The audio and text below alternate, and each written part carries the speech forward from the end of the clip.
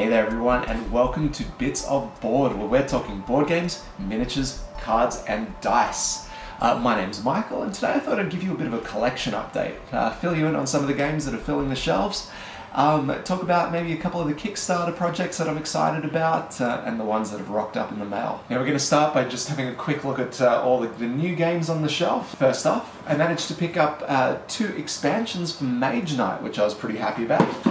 Um, these ones I couldn't find in any local stores, uh, they just hadn't been around. But I wandered off interstate, uh, found a hole in the wall board game store and picked them up, so yeah, stoked about that. Got um, Roll for the Galaxy now, I was just a little bit late uh, getting into this one. Didn't really have a, a space themed game behind me, so I was very happy to pick it up. And I'm not even surprised about how good this game is. I, I knew it was going to be good when I got it, and man am I happy to have it in the collection now what else? Uh, managed to get uh, Forge War. Now this one's from Isaac Childres, um, who's got that uh, Gloomhaven game in the works from a previous Kickstarter.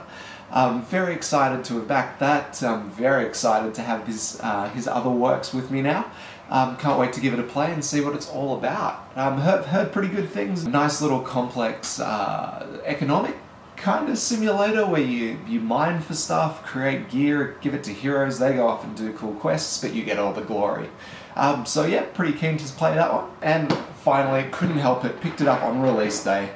Pandemic, Reign of Cthulhu. I'm a big fan of the Pandemic series, um, and you know, Cthulhu I'm still okay with, guys, so I'm pretty happy to have this one. I've given it a play already and had a bit of a blast. You're going to be seeing a preview of that one very shortly, just in case you want to get pick it up for yourselves. Now for the eBay find of the week, I actually managed to pick up a copy of Trickerion, um, the Kickstarter edition. Now this is a game from Mindclash, who have uh, recently uh, funded a successful Kickstarter for Anachrony. Um, once again, similar to uh, Forge Wars, I'm just keen to have uh, a bit of a preview on what these guys are like just before, you know, the main event rocks up.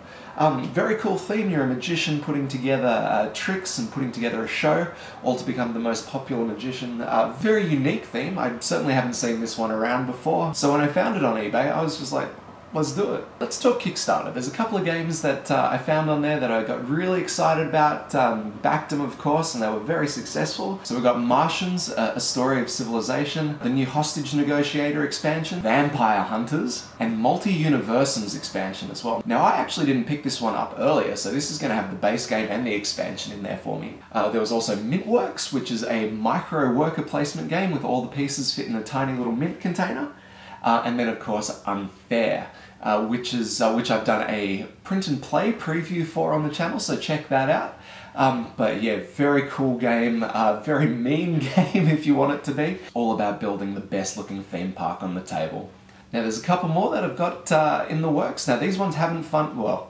They've funded, but they haven't finished their funding period yet. Uh, we've got Sagrada, which is a uh, dice drafting game all about building beautiful stained glass windows why not? And two more, I had the uh, Battalia, the Stormgates expansion, and uh, the Tiny Epic Galaxies Beyond the Black expansion.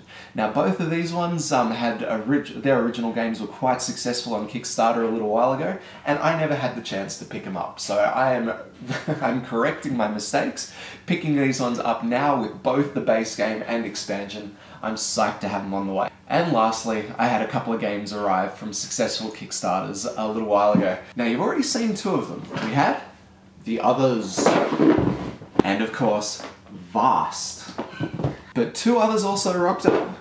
Firstly, The Networks, which is a very cool game all about being a fledgling TV studio. You've got to buy the best stars and shows uh, to make the best channel on TV. You're vying for uh, popularity or victory points. And yeah, very nice strategic game. Uh, a lot of laughs, very cool art style. It holds a very cool sense of humour. Highly recommended. We'll be seeing this one up shortly. And lastly, we have Thief's Market, which is a dice collection, dice pool splitting, card drafting game.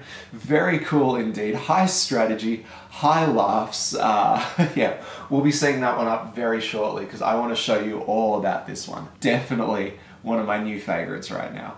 And that's what's new in the collection this month. Stay tuned for Pandemic, Reign of Cthulhu, and plenty more to come as well. So if you saw anything in the video that you like the look of or want to have a closer look at some of the games, let me know in the comments below and I'll chuck a video up for you. Um, other than that, uh, we're all about done. So till next time, uh, I'm Michael. This is Bits of Board. Thanks for watching.